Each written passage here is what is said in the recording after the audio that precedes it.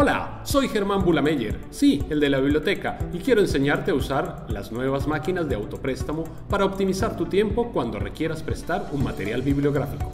Lo primero que tienes que aprender es a reconocer las partes de la máquina. La pantalla permite que visualices el proceso que estás realizando.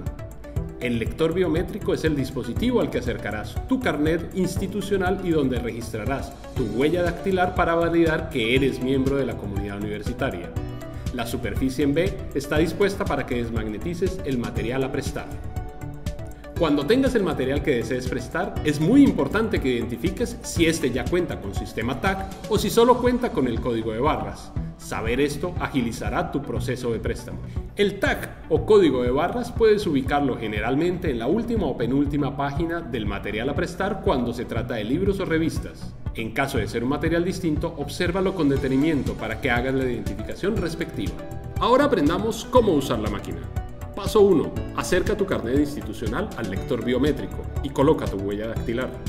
Paso 2. Si el material bibliográfico a prestar cuenta con código de barras, lee el código con la luz infrarroja, después colócalo con el lomo hacia abajo y deslízalo hacia adelante.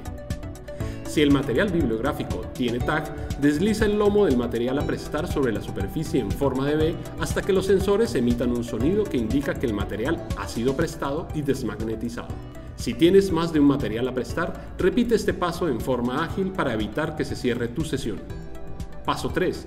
Oprime el botón Listo y automáticamente recibirás un correo electrónico institucional con la información detallada del material bibliográfico prestado.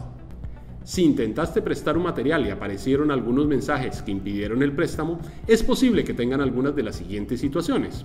Que no seas un estudiante activo, que estés sancionado por no haber devuelto un material en los tiempos establecidos, que hayas cancelado el semestre o que tengas más de tres materiales bibliográficos en préstamo. En cualquiera de estos casos o incluso en otros, debes dirigirte al personal de atención de la biblioteca para que te orienten o resuelvan tu situación.